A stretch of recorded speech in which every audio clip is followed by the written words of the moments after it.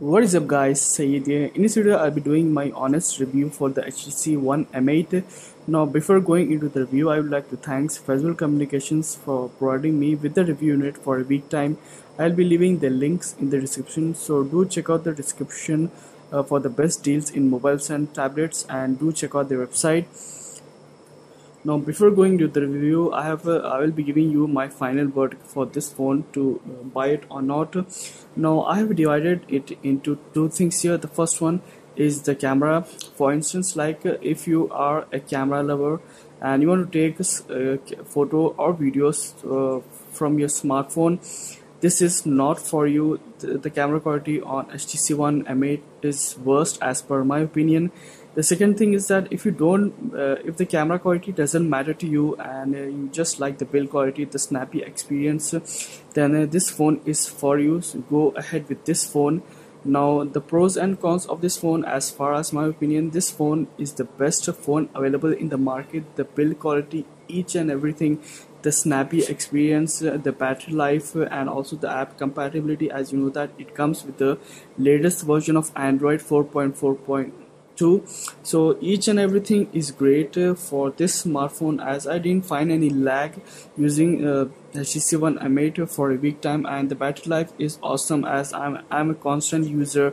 And the battery life for me is it gave around one and a half day with excessive use uh, along with the power saving mode and uh, also my uh, in my previous video you can see that I have switched from iOS to Android and the reasons are uh, in the video. I'll be leaving that video link in the description so do check out that video also. The thing the only thing that dragged me away from the HTC One M8 is the camera quality. I didn't like the camera quality available on the HTC One M8 uh, for instance I have compared the camera quality with my iPhone 5s I'll be leaving the link also in the description so do check it out. Uh, as per my opinion the camera quality on the iPhone 5s is superior than the M8 as I don't know why HTC when people went again with the 4 ultra pixel camera they would have just bumped up more 4 megapixel and uh, just 8 pix 8 uh, sensors something like that but they went with the 4 ultra pixel which uh, is a downside for this phone. As you can see the build quality as I'll be just zooming it a little bit. And you can see the build quality the each and every every detail is precise and also excellent.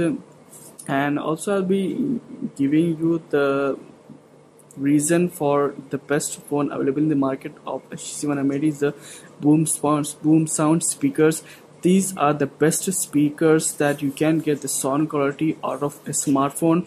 And uh, every smartphone in the market should have this uh, boom sounds because uh, so that we can get the best audio and also your recorded video quality uh, through your smartphone. So this phone is a must uh, go for a user if they don't mind about the camera as uh, I really I the camera is important for me so that's why I went the Galaxy S5 apart from the camera quality the snappy experience the best you can get out from a smartphone and as per my opinion this is the best available smartphone uh, in the market with the latest version of uh, Android so this was my review of the HTC One M8 this is the best phone I from uh, um, my point of view as I'm an iOS user excessive iOS user this phone has changed the way I have always seen Android.